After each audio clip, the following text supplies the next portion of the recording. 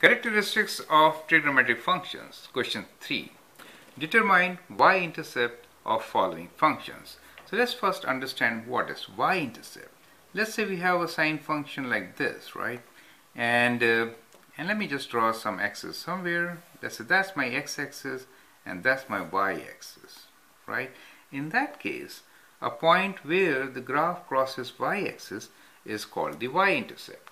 And you will note that at y-intercept, this is my y-axis, that is my x-axis, right? At y-intercept, the value of x is 0. So that is kind of very important to understand. So at y-intercept, so we have at y-intercept, x is equal to 0. That is what it is. So to find the y-intercept is literally substituting 0 for x and then finding the what? Finding the value of the function. For example, Question 1a is gx equals to sine x minus 2. So to find y-intercept, we'll put x as 0. So we get g of 0. That means the value of function at 0, which is y-intercept, is equal to sine of 0 degrees minus 2. And what is sine of 0 degrees? At 0, sine is 0. So it is 0 minus 2. So we get a value of minus 2 units. So my y-intercept is minus 2. So that is what y-intercept is, correct? So that is how you're going to find y-intercept for the given equations. Now equation number 2 is f of x equals to 3 cos 2 times x minus 30 degrees minus 1. And c is y equals to minus 2 cos of 3x minus 60 degrees plus 1. I'll do b for you, right? So as you understand, y-intercept is a point where x is equal to 0. x equals to 0 means y-intercept. Okay, as you've seen here. Now, so that means we'll plug in 0 for x and we should get y-intercept. So for this equation, it is cos of 2 times 0 minus 30 degrees minus 1, which is equals to 3 times cos of so 0 minus, minus 60 degrees, right? Minus 60 degrees minus 1. Now you can always use your calculator to figure out what this answer is, right? You can do cos of minus 60 degrees minus 1. Or 60 degrees, you can do with your special triangles also. Let's use the knowledge of special triangles to figure out the answer for here. Let me draw this 60 degrees special triangle for you here.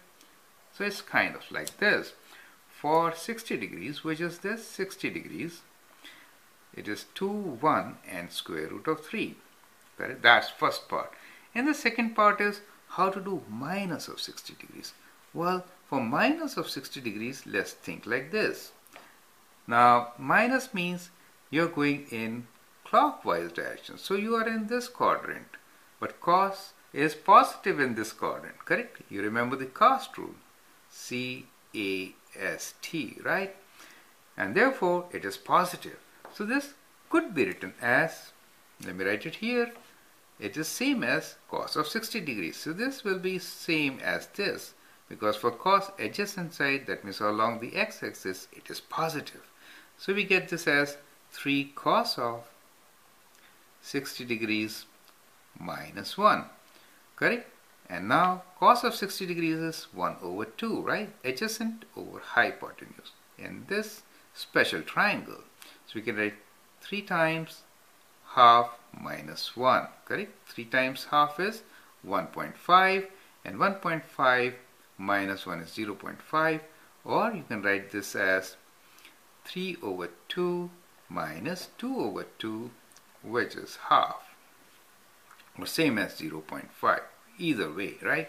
So you get x-intercept at 0.5, right? Now the important thing is you could write x in, oh sorry, y-intercept at 0.5. So you can write here y-intercept at minus 2 or you could give a coordinate point 0 for x and minus 2 for y. Similarly here you could write your answer as 0 and 0.5. Do you understand? So that is how we can give the answer for such question. Part C, I'll leave that for you to do. So you need to do what? plug in 0 here, right? And you get a similar cos of minus 60 as we did, right? But this is minus 2. Take care of that and then add 1 to get your y-intercept. So I hope you understand how to find y-intercept from a given equation. Correct? So my question for you is find x-intercept. You should now find x-intercept. Right? For both these equations, rather three equations, right? This one I'm leaving for you. You need to find y-intercept on your own following the steps which I did for question B, right? Find x-intercepts for each of these given equations. If you have difficulty, you can always write your comments and I have the next few videos coming on x-intercepts. Okay, that should help you. Thank you.